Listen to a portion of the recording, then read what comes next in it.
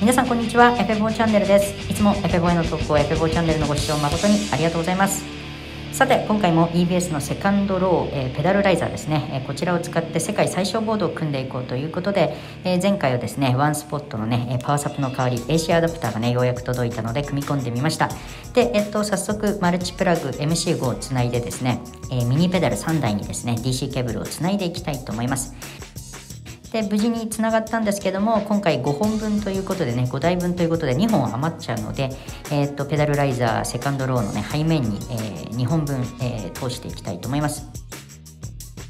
でうまく隠せて、え、こんな感じでね、え、うまくセッティングできました。ということで持ち上げてみてもですね、え、余分なケーブルなどもね、え、邪魔にならないように隠せたので、次回はパッチケーブル、え、EBS のフラットパッチケーブルでね、え、実際にエフェクター同士を配線していきたいなというふうに思います。え、次回も楽しみにお待ちください。ありがとうございました。